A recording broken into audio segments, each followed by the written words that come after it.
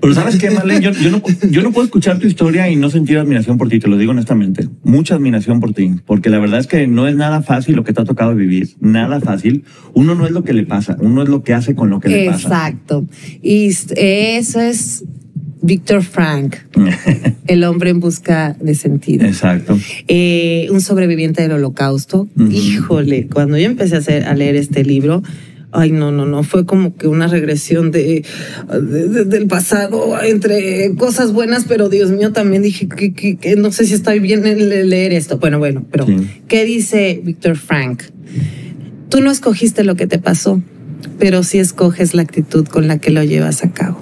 Exacto. Entonces, bueno, entre todo ese proceso, yo llegué a un momento de paz, de que me empecé a llenar de paz y ya no, o sea, porque que, oye, ¿cómo? Porque es cierto modo decía, es que yo me merezco, o sea, de verdad me merezco, me merezco ser. Pero llegó un momento que, yo, ¿sabes qué, Diosito? Yo solamente te agradezco. Tú sabrás si algún día puedo hacer un proyecto bonito, yo voy a cumplir mis sueños, pero yo solamente quiero agradecer que tengo unos hijos sanos, y vaya qué calidad de hijos.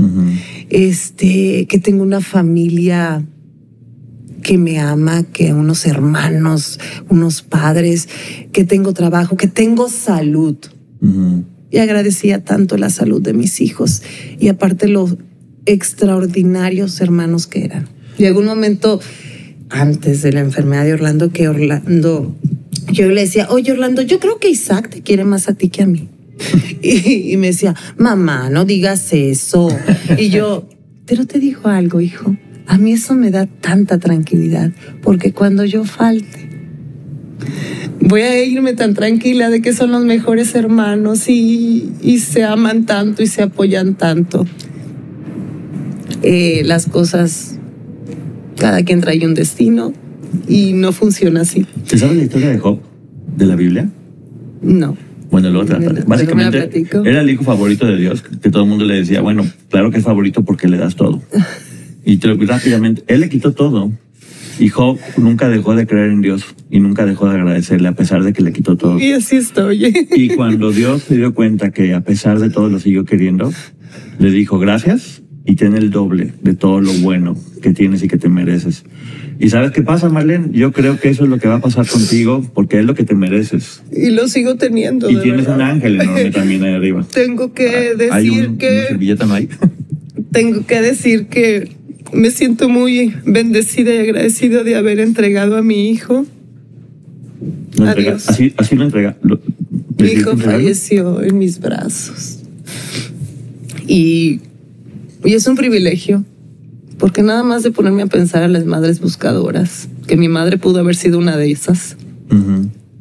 No sé, de verdad, inmediatamente así lo relaciono, ¿no? O sea, eh, eso sí es el infierno.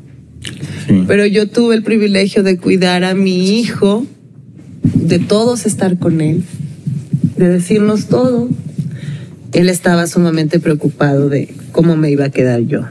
¿Cuál fue la enseñanza más grande que te dejó este angelito que ya queremos todos que se llama Orlando? Orlando. Orlando y que nos acordemos todos de su nombre y un homenaje a este, a, este jovencito que llegó a dar una lección enorme. Mira, tengo un elefantito porque Orlando amaba a los elefantitos. Eh, mi mamá, el primer peluchito que le dio fue un elefantín, así le decía Orlando elefantín, y elefantín estuvo con él en todo momento, en el hospital, en todos lados. ¿Y cuál fue la enseñanza más grande que te dejó? La enseñanza más grande que me dio Orlando definitivamente es la resiliencia esto fue otro nivel. El amor que ante tanto dolor hay momentos de felicidad.